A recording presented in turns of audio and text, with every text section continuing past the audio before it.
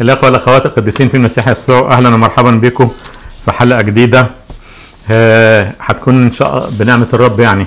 هتكون حلقة very interesting وهنرد على بعض آه، آه، تعليقات مهمة وكان في دماغي نصف الموضوع لكن كده بقى الموضوع كمل على بعضه. معلش. أنا عايز أبتدي الحلقة بنكتة محزنة يعني. ليا صديق آه كتب في فترة أعياد القيامة اللي فاتت كده من أسبوعين تقريبا ثلاثة كده نزل بوست صغير قوي هقراه لكم. مش هنقول أسماء طبعا اتفقنا مش هنقول أسماء. وبعدين هوريك واحد آه من رده طبعا واضح إن هو قبطي ارثوذكسي رد إزاي على الشخص يعني؟ فالاخ اللي كتب ال post على الفيسبوك بتاعه كاتب إيه؟ هو عن- منزل ال post بمناسبة عيد القيامة. فكاتب إيه؟ أما عن كونه أسلم نفسه يقول الرسول بولس في غلطيا 22 مع المسيح صلبت فأحيا لا أنا بل المسيح يحيا فيا فما أحياه الآن في الجسد فإنما أحياه في الإيمان. إيمان ابن الله الذي أحبني. وبين قوسين كاتب إيه؟ وأسلم نفسه لأجلي. دي نمرة واحد. نمرة اتنين وفي أفسس خمسة اتنين اسلكوا في المحبة كما أحبنا المسيح أيضا وبين وبين قوسين وأسلم نفسه لأجلنا. ثلاثة وفي أفسس خمسة خمسة وعشرين أيها الرجال أحبوا نساءكم كما أحب المسيح أن الكنيسة وأسلم نفسه لأجلها. يعني حب يجيب كلمة أسلم نفسه اللي هو إيه؟ أسلم نفسه لأجلي كشخص واحد مفرد وأسلم نفسه لأجلنا ككنيسة. وبعدين برضو يأكد تاني إيه؟ إن زي ما يحب الرجال يحبوا نسائهم كما أحب أيضا المسيح الكنيسة وأسلم نفسه لأجلها. يعني أسلم نفسه عن الفرد وعن الكنيسة كجماعة. حلو الكلام؟ إيه رأيك في يعني ال- اللمة الجميلة دي لل- لل- للقصة؟ حلوة. اسمع بقى واحد قبطي أرثوذكسي عمل تعليق جميل ظريف كده محزن للغاية يعني لما لما هنقراه هتعرف ليه محزن يعني.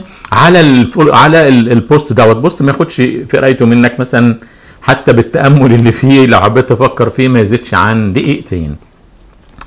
قام الأخ ده كتب تعليق بقى على ال على ال على ال post ده ده الأخ القبطي الأرثوذكسي. كتب إيه؟ ربنا يرحمه. يرحم مين؟ الكلام كله عن المسيح. نياحا لروحه الطاهرة. مع الأبرار والقديسين ويصبر أسرته. شكرا. يعني لما الكتاب يقول مرة إن شعبي ضل بسبب عدم المعرفة ومرة تانية هلك شعبي من عدم المعرفة نعرف عرفنا إزاي؟ واحد كاتب حاجة عن المسيح التاني تفهمش هو فهم. أخويا وأختي اللي يظن الكتاب المقدس هو مش السكة للحياة ده غلطان غلطان غلطان.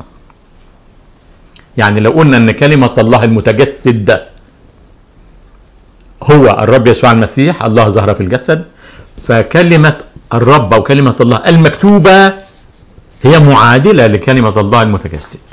ده كلها نبوات عنه. وبالتالي لابد أن نتعرف على يعني ما نقدرش نعيش ولا نحيا بدون كلمة الرب. آه، حلقة النهاردة بعنوان عبادة أوثان باسم يهوه. يا ربعام ابن نباط. وهل ربنا هيقبلها؟ وهنشوف.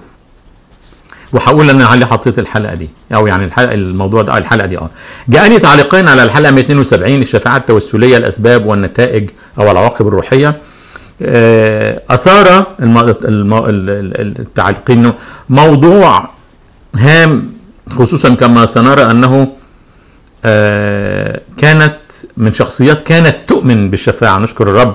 أي عابرين من خلفية تقليدية ونقول هنا مجدا للرب. السماء تفرح بخاطئ واحد يتوب أكثر من 99 أبرار في عن أنفسهم لا يحتاجون إلى توبة. طلبت من كل منهم هل ممكن أذكر اسمك في الحلقة؟ فاجابوا بالإجابة وقالوا كل حاجة. يعني فأشكرهم على الترحيب الشديد بالحكايه كده. التعليق الأول أنا كاتب التعليق الأول الثاني بحسب الترتيب لما جوني. يعني التعليق الأول ده مش مش حاجة أحسن من حد يعني لا هو ده ده الجال الأول في التع... في ترتيب التعليقات. ممكن تقرأ التعليقات على يوتيوب القناة في الحلقة اللي هي 172 التعليق الأول من صديق القناة الأخ فادي ظريف الذي يذكر أنه عاش في الكنيسة الأرثوذكسية عشرات السنوات مش عشرة ولا اثنين ولا ثلاثة بيقرأ التعليق وشوف يعني. ونشكر الرب كانت القناه سبب بركه كبيرة له والاثنين كمان من أسرته يمكنك قراءة التعليق كاملا آه، على ال- اليوتيوب. أنا التعليق قسمته لثلاث نقط وهنجاوب عليهم بس مش في حلقة واحدة لأن مش هيكفي حلقة واحدة. واحد بيقول بطلب من حضرتك تلقي الضوء على موضوع مهم وأكيد هياخد وقت من حضرتك في بعض الأشخاص الميتين أطلقت الكنيسة عليهم قديسين وبيعملوا معجزات ف لكن لو رجعنا لتاريخهم هنلاقيهم أشرار وسلفيين بس مسيحيين. ما هي حقيقة هؤلاء القديسين؟ هنجيلها بس مش الحلقة ديت. اثنين جميعنا نعلم أن ما بني على باطل فهو باطل. فكيف صنع فلان؟ وكتب طبعا عمة كبيرة قوي في الكنيسة القبطية بيعمل معجزات ومع إن صلاته وبخوره أمام الصور هي عبادات وثنية. فكيف هو بيقول إن هو بيخرج شياطين وبيعمل معجزات يعني؟ النقطة الثالثة في التعليق أرجو من الحلقات القادمة تسلط الضوء على هذا العبث لأنه ساكن في عقولهم وأحيانا يراودني هذا الفكر رغم تحريري. ماشي كده؟ التعليق الثاني من الأخ المبارك برضه صديق ال- القناة موسى موسى آه، وقال لي ممكن تقرا التعليق زي ما هو فهقرأه هو تعليق صغير وهيصبوا الاثنين مع بعض يعني. آه، أستاذ فلان منذ فترة طويلة حدث لي حادث وكنت في ذلك الوقت مؤمن بالشفاعة. فطلبت البابا كرولوس ولقد رأيته بالعيان. ما هذا؟ وهل هذه أرواح شريرة؟ بس أنا لم أتفوه بكلمة بصوت عالي. أقصد يعني قلت يا بابا كرولوس بداخلي وبعدين بيقول أظن أن الأرواح الشريرة لم تسمعني. آه، لأن أنا كنت جبت موضوع الأرواح الشريرة دوت في الحلقة. يمكن تقسيم أو آه، تعليق الأخ موسى لنقطتين للرد عليهما. واحد كيف يظهر البابا كرولوس بمجرد طلبه حتى سرا. طبعا كل واحد هيقول لك شوف القديس بقى وحتى الهمسة بيعرفها ودي الشفاعة. ده ده كده زي ده كده بيساوي يهوى. كده بيساوي الله.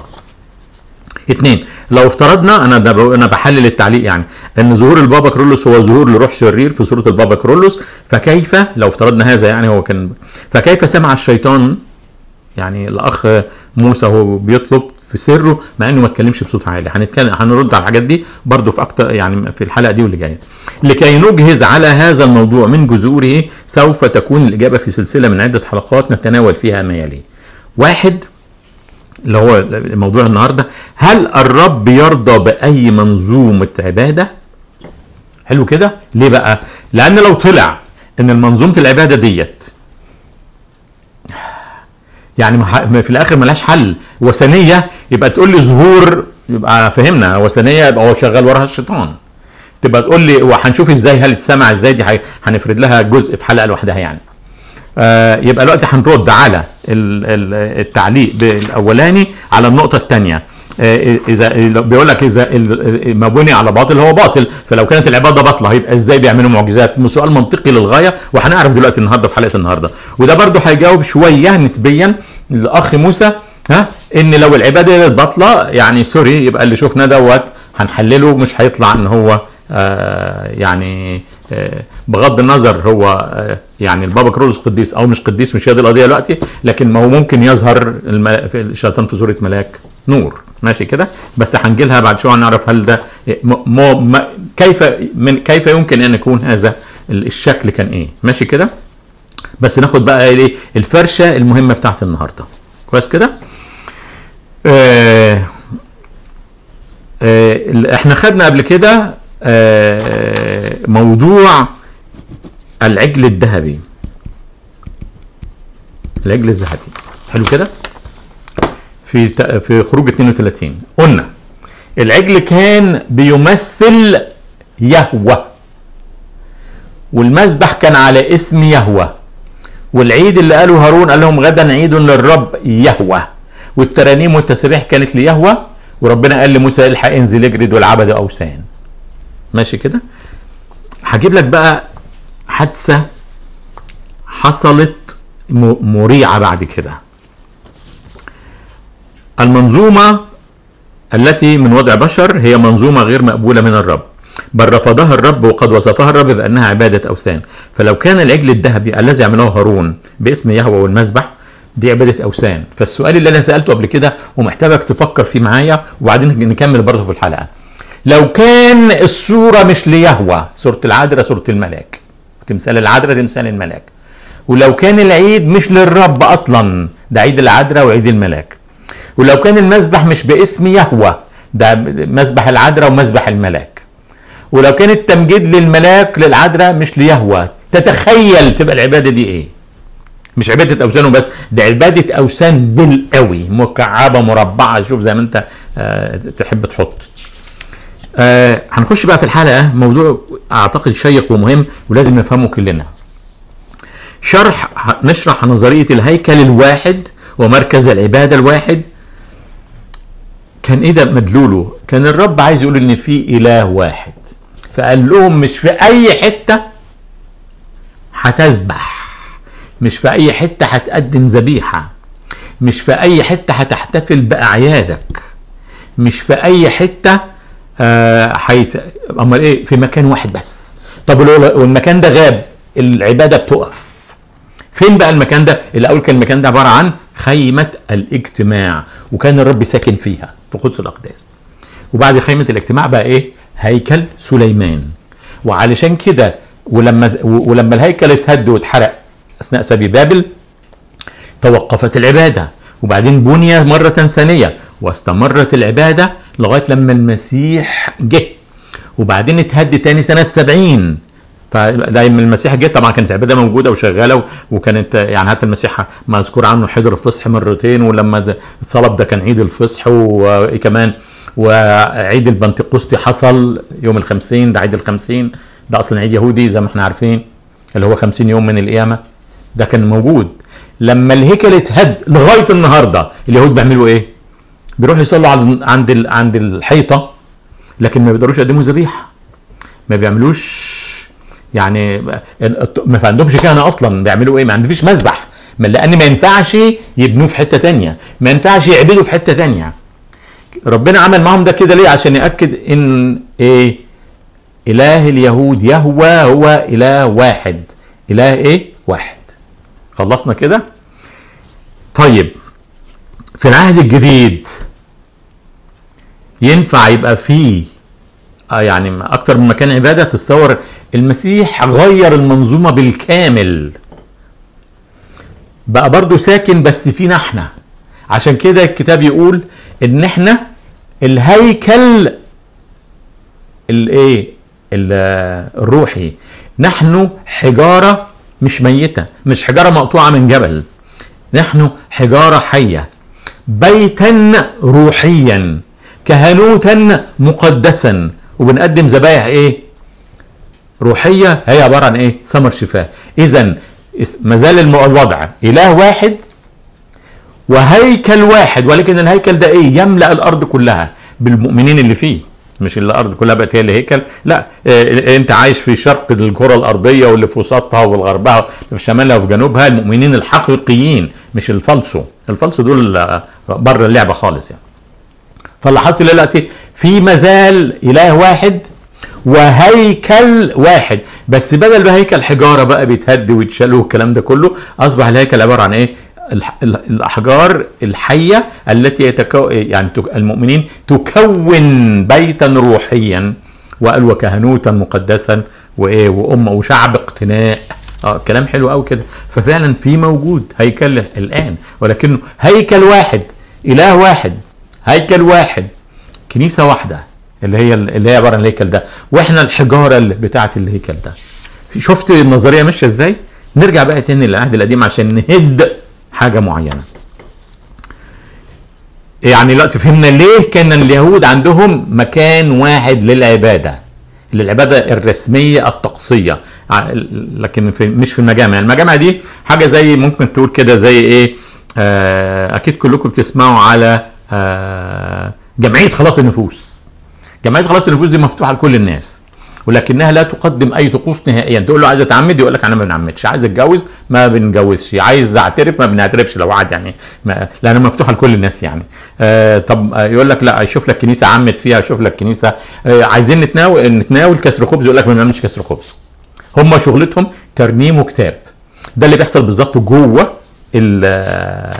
المجامع اليهودية. لكن ما بيحتفلوش مثلا يقولوا النهارده السنة دي هنعمل مثلا آه، عيد الكفارة هنا والسنة الجاية في الحتة الثانية لا لا لا. لازم عيد الكفارة ويحتفل به مع قدس أقداس ورئيس كهنة وزنبليطة. مش موجودة بقى ما بيحتفلش بيه الاحتفال الرسمي الكامل. آه بي- بيقتصروا على اليوم يقعدوا يص- يصوموا ويصلوا يصلوا حزنانين على اللي جرى عندهم. لكن لا في رئيس كهنة ولا في ذبيحة بتقدم ولا في أي حاجة من كده. بعد ما داوود آه، مات وسليمان أخذ المملكة وبعد سليمان مات حصل إيه بقى؟ سنة 970 سليمان مات. المملكة انشقت. المملكة إيه؟ انشقت. المملكة الشمالية كبيرة أخذت عشر أسباط والمملكة الجنوبية كان فيها سبطين بس. المملكة الشمالية بقى اسمها إسرائيل وعاصمتها كان تبدلت العواصم يعني بس كان آخر عاصمة وأهم وأكبر عاصمة كان فيها تعتبر إيه؟ وأشهرهم السامره والجنوبية كانت عاصمتها إيه؟ أورشليم. وكانت الحروب مستمرة بين بين الإخوات دول. حلو كده؟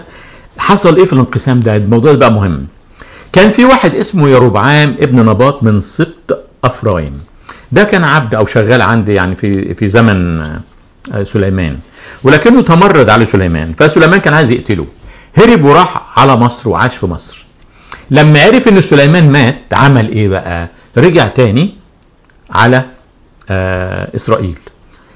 وراح عند رحبعام وقال له إن أبوك كان تعبنا في التسخير وحاجات زي كده يعني خف علينا. المهم قصر الكلام هو كان طمعان إن هو إيه إيه يبقى مثلا ملك. وكان واضح إن ليه شعبية كبيرة جدا لأن 10 أسباط مش 10 أسباط مشوا وراه فهو كان ليه شعبية كبيرة قوي يعني. المهم فاللي حصل إن يعني آه، حصل يعني ما, توصلوش لاتفاق وانقسمت المملكة بالوضع دوت. حلو كده؟ مذكور عن هذا الرجل بقى 14 مرة كل ما يتكتب اسمه يتقال ورا اسمه كده حتة غريبة الشكل. يعني يقول لك يا ربعام ابن نباط يقول لك الذي جعل إسرائيل يخطئ. وبقت دي لازقة فيه كده على طول. كل ما يتقال اسمه يقول لك الذي جعل إسرائيل يخطئ. عمل إيه الراجل ده؟ لما انقسمت المملكة نبص مع بعض على الشاشة.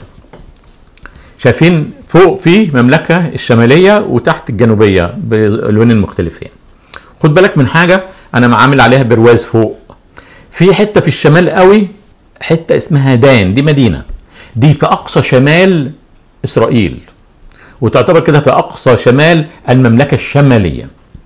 وفي تحت عند الحدود ما بين ال- الش- المملكة الشمالية والجنوبية في حتة تانية اسمها إيه؟ آه بيت إيل. آه كلنا عارفين بيت إيل اللي هو لما كان آه عيسو آه، لما كان يعقوب هربان من عيسو في الحتة دي. عمل إيه الراجل ده؟ جاب هو دلوقتي قال إيه؟ الناس لما هتيجي الأعياد هيبتدوا ينزلوا من عندي ويروحوا أورشليم فقلبهم هيحن على أورشليم فممكن يحصل إيه؟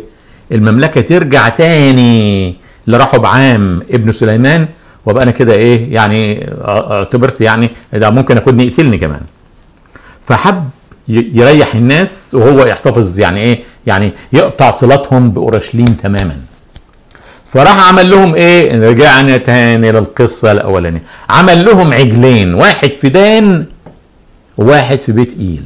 لأن ال- ال- ال- المملكه الشماليه كبيرة. قال عشان يبقى سهل اللي تشوف أنت أقرب لك إيه. نعيد السؤال تاني. عمل ال- ال- العجلين دول على اسم مين؟ صدقني مش على اسم البعل ولا عشتروت ولا ملكوم ولا مردوك ولا لا لا لا لا. عملهم على اسم يهوه إيه ده؟ طب والناس نسيوا؟ قال لك جايز ده أحسن حل. يعني ده اللي قدامنا. يعني على فكرة لما انقسم المملكه كانت سنة 970 يعني كان فات على موضوع العجل الذهبي.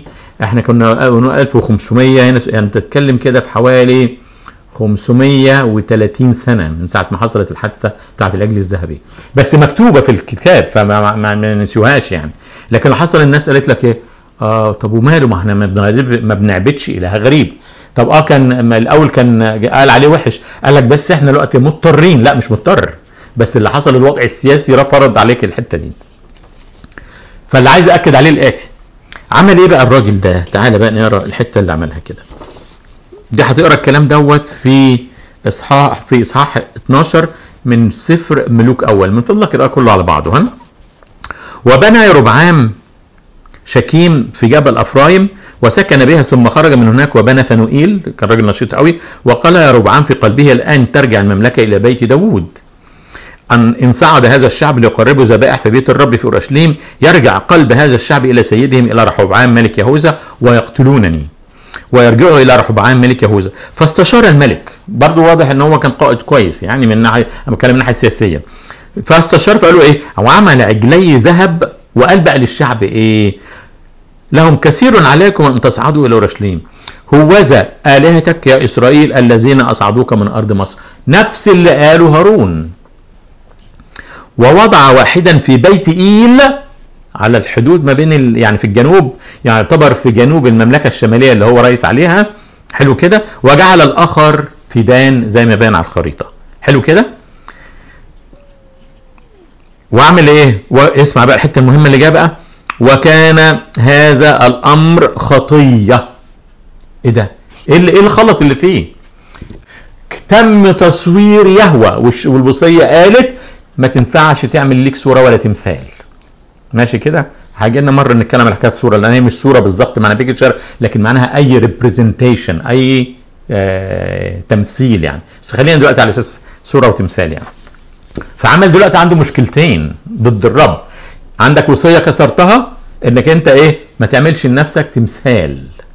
عمل تمثال وإن كان وإن كان التمثال بيعبر عن يهوه بس ربنا قال إن ده غلط من أيام هارون. زائد بقى المصيبة الأكبر إن المذبح ده من صناعة مين؟ من صناعة حضرتك. مش ده اللي ربنا أمر بيه. نكمل حتة. صغيرة هتساعدنا في الحتة دي. وكان هذا الأمر خطية وكان الشعب يذهبون إلى أمام أحدهما حتى إلى دان أقصى الشمال. حلو كده؟ وعمل إيه تاني؟ وبنى بيت المرتفعات وصير كهنة من أطراف الشعب. يعني جاب كهنة مش من اللي ربنا قال عليهم. خد بالك من الكلام اللي جاي كمان. لم يكونوا من بني لاوي. اسمع بقى الحتة اللي جاية المهمة دي. وعمل يا ربعام عيدا في الشهر الثامن في اليوم الخامس عشر من الشهر كالعيد الذي في يهوذا. إيه العيد اللي في يهوذا؟ العيد اللي في يهوذا ربنا قال عليه اللي هو عيد المظال قال له في الشهر السابع في اليوم الخامس عشر من الشهر ده عيد للمظال بيقعد لمدة أسبوع. هو بقى عمل نفس العيد بس في الشهر إيه؟ الثامن. بس في آية بالروح القدس مكتوبة عايزك تركز معايا فيها. وأصعد على المذبح. هكذا فعل في بيت إيل بذبحه للعجلين اللذين عملهما وأوقف في بيت إيل كهنة المرتفعات التي عملها وأصعد على المذبح الذي عمل في بيت إيل في اليوم الخامس عشر من الشهر الثامن في الشهر اسمع بقى العبارة اللي جاية دي مهمة قوي عندي الذي ابتدعه من قلبه لأن مش ربنا اللي أمر بالعيد ده. فعمل عيدا لبني إسرائيل وصعد على المذبح إيه؟ ليوقد. أخويا أنا عايز تقريبا لأن دلوقتي بيقذف مننا. أنا كنت عايز أقول كلام كتير قوي لكن هضطر إن انقسم الموضوع أكتر من حاجة يبقى إيه الغلط اللي عمله بقى دلوقتي عشان نحطه على بعضه كده؟ نمرة واحد. عمل عجل صور يهوى. غلط. عمل مذبحين ما قالش بيه ما لم المذبح اللي ربنا قال عليه هو ده اللي اتعمل في خيمة الاجتماع هو ده اللي اتعمل في هيكل سليمان. هو عمل مذبح من دماغه. نمرة ثلاثة الأعياد دي اسمها مواسم الرب. هو راح عمل إيه؟ اخترع. بس الجميل فيه يقول لك إيه؟ الذي ابتدعه من قلبه. نيجي بقى نقول دلوقتي وبالتالي أصبح بقى عشان الثلاث حاجات دول. كل ما يتقال يا ربعام ابن نباط يقول لك الذي جعل إسرائيل يخطئ إزاي يا عم بيخطئ بيسجد عنده أكتر من مذبح عنده آه، صور يهوى وعمل قاعد بمزاجه. يعني كل ما المنظومة غلط. أخويا وأختي أسألك بقى سؤال الله يخليك. فمن الذي ابتدع من قلبه الأعياد التي في الكنائس التقليدية؟ الهيكل اللي هم بيبنوه. فيش هيكل. هو هيكل واحد. يعني حتى لها لو في هيكل هو هيكل واحد. إحنا دلوقتي عن الهيكل الجديد. باد لك ما تعمل هيكل. أنت ما عندكش هيكل. أنت عندك عدة هياكل في جوه المبنى الواحد. وكل مذبح مذبح باسم غير أي اسم إلا اسم الله. آه. وبعدين الأعياد بقى. على فكرة كان في أخت كتر ألف خير أشكرها الأخت موريا زاك كانت مرة أنا قلت حاجة وبعدين نبهتني إن برضو الأعياد دي دي أعياد المفروض أعياد ليهوى وده حقيقي يعني. فلما تبقى العيد مش على اسم يهوى المذبح مش على اسم يهوى وعندك عدة مذابح على فكرة. التمجيد مش ليهوى. دي تبقى اسمها إيه يا أخويا. نرجع تاني ونقول. إذا كان لما كان أيام هارون وأيام يربعام ابن نباط الذي جعل إسرائيل يخطئ العجلين على اسم يهوى وربنا عند عبادة أوثان المذابح على اسم يهوى وعلى عبادة أوثان ربنا ما أمرش بالمذابح دي الأعياد برضو كانت ليهوى بس حطها في بمزاجه هو مش في الميعاد اللي ربنا قال عليه ربنا قال لك ده إيه؟ الذي جعل إسرائيل يخطئ. السؤال بقى دلوقتي.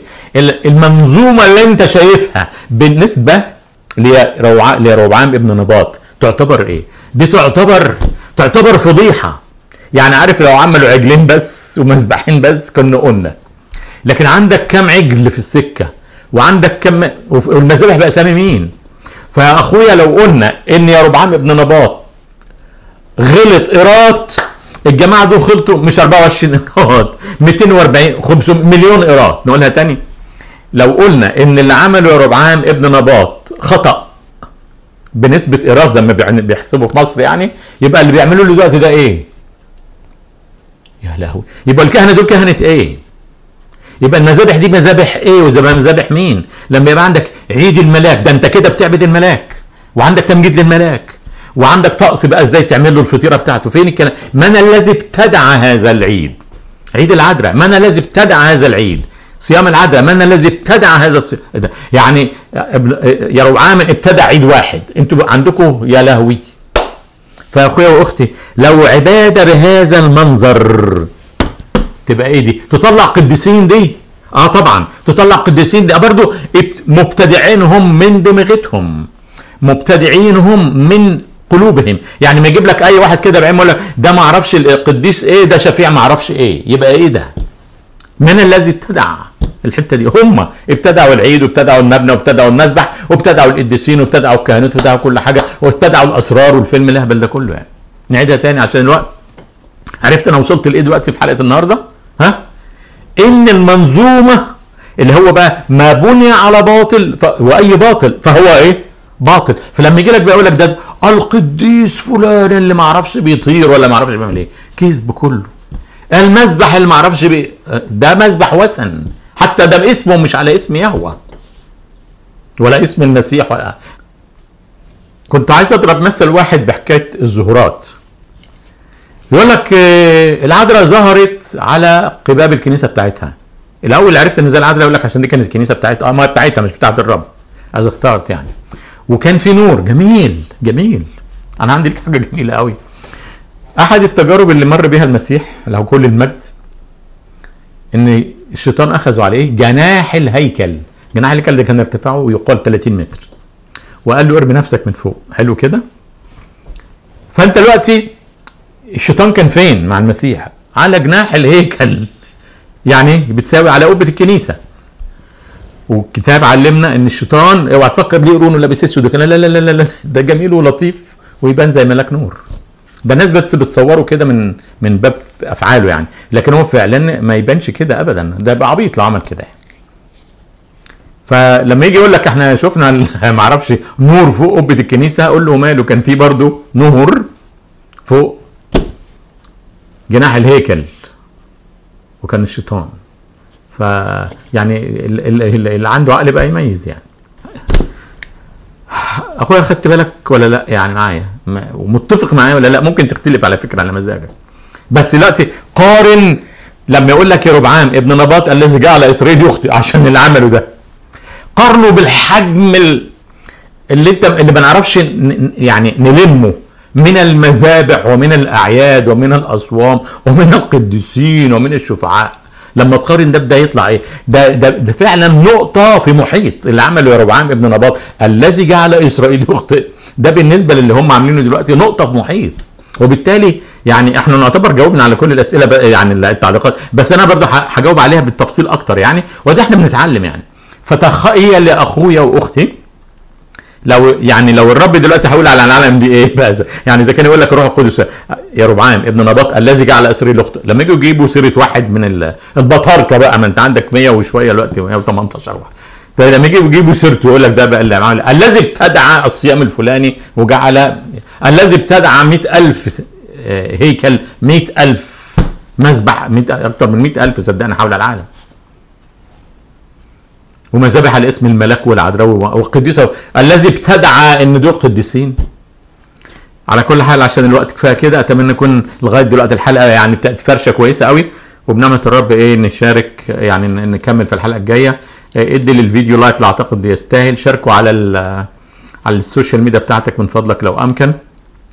اشترك في القناة وكنت ما اشتركتش وإن تأنى الرب لما أجي نتقابل في حلقة تانية. سلام المسيح يكون معكم.